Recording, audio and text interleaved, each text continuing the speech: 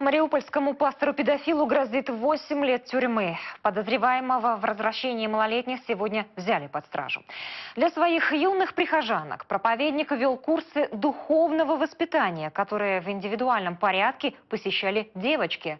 От таких факультативов пострадало минимум 10 школьниц. Однако их родители в действиях пастора преступления не видят.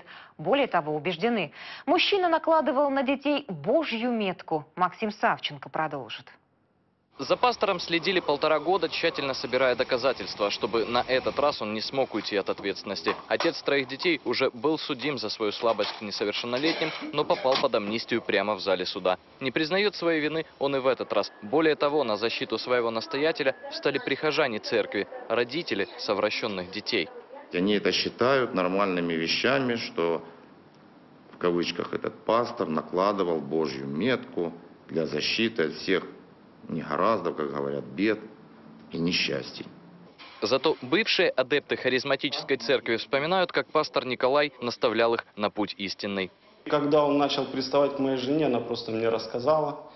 Я выступил против этого. Когда люди начинали говорить, что домогательство к девочкам и остальные, их просто выкидывали и больше не пускали в собрание и все.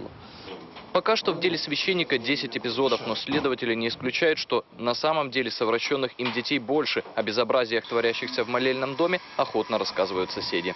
Это было шумно для нас, это было нагло. Приходили подростки, приходили девочки, приходила молодежь. Сам 61-летний пастор сразу после ареста попал в кардиологию, из которой его уже перевели в СИЗО. Максим Савченко, Александр Соколов. Специально для телеканала «Донбасс».